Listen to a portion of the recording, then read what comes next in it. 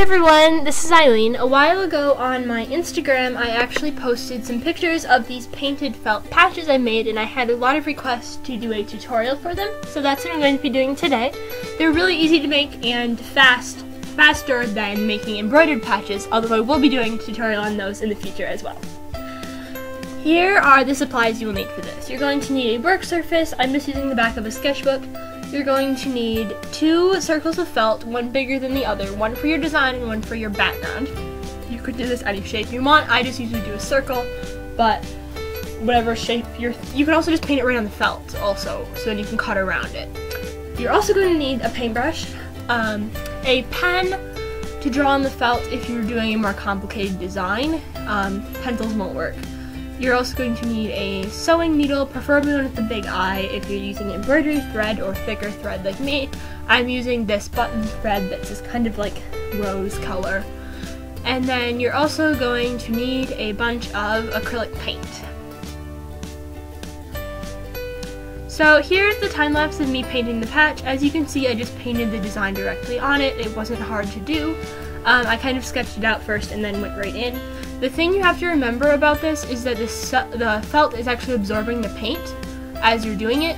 Therefore, it's going to take a lot more paint um, to paint a smaller shape than it would on like paper because it's not soaking in as much to the paper as it is to the felt. You're kind of like dotting it into the felt more, less than like spreading it. So, I just did a little heart design. This is kind of a simple one, but I wanted to make it easy and quick for you to see in the tutorial.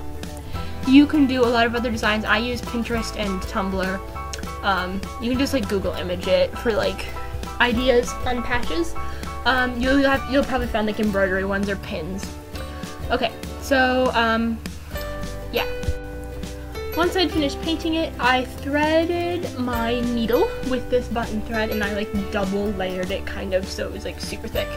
And therefore, um, when I sewed it, it kind of looked like embroidery floss, even though I don't have any of that. And we'll talk more about how to use this technique in my actual embroidered patch video.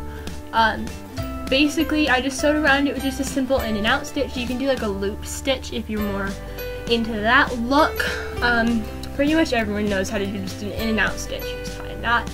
Um, you can also just glue it if you're in a hurry. Just hot glue it. I'm not sure it would hold up as nicely. And then if you're interested, you could like hot glue a safety pin on the back, but I usually just sew them onto things when I need to sew them, or when I need to attach them. So there's that. I hope you enjoyed this video, and I will be back with some more craft tutorials in the very near future. So here's what the patch turned out like, and I will see you next time. Bye! I forgot to mention in the video that you can actually buy these on the Etsy shop that is linked to this channel. That used to be me and Julia's Etsy shop, but right now there's just these patches listed in it. And you can um, check that out. The link is down below. Um, yeah, so I think that's it now. Okay, goodbye.